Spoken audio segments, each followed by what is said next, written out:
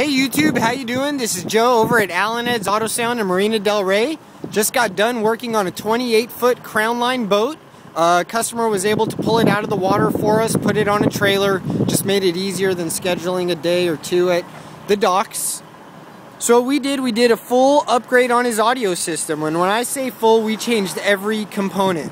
We did Kenwood's KMR 700U, JL's Marine 700 slash 5, so it gives me about 100 watts per channel and about 300 watts on a sub channel. I did their MX 650 CCX CGWH. These are their 6.5 inch uh, cockpit coaxes with the white classic grills. I did two pairs of these. And then I did their Marine 10 inch infinite baffle subwoofer. We were limited to building an enclosure in here in one of the compartments so we did, we cut out one of the flat panels below the cockpit area and just recessed and flushed it in there.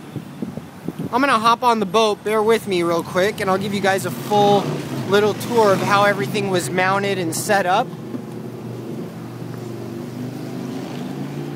The Kenwood KMR 700U is fully waterproof, so it doesn't need any type of marine cover or anything. The opening is a single din, but the face is almost a double din. This pretty much has a little compartment inside to store your iPod or iPhone or just a USB thumb drive. You can then do all the controls on the front end if you ever need to wash the boat, hose it down, or anything of the sort. Um, no water or anything gets into the faceplate of this unit. As far as speakers, these were the stock locations. We just did direct stock upgrades of them. Always using stainless steel hardware so it doesn't rust out in the water or anything.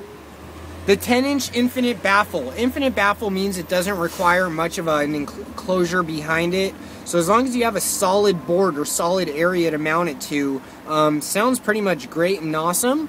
As far as the two front speakers, also stock replacements or stock locations. We did the six and a half inch with the classic white grills. Guys, this was Joe over at Al & Ed's Auto Sound in Marina Del Rey. 310 827 8121. Call us up if you have a boat in the marina or close by that we can work on or have trailer down here. Thanks, guys.